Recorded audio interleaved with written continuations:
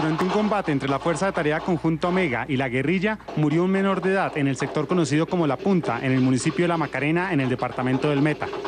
Durante un hostigamiento por terroristas del Frente 62 Yarí a las tropas de la Brigada Móvil número 6 resultó muerto un menor de edad. Las fuerzas militares en un comunicado informaron del hecho y lamentaron y enviaron las condolencias a sus familiares. La Fuerza de Tarea Conjunta Omega expresa sus más sinceras condolencias a los familiares del menor. Una vez conocida la muerte del menor, una comisión del CTI de la Fiscalía se desplazó al lugar de los hechos para efectuar el levantamiento del cadáver e iniciar una investigación. Se espera que la investigación determine si el menor de edad oriundo de la región murió por impacto de...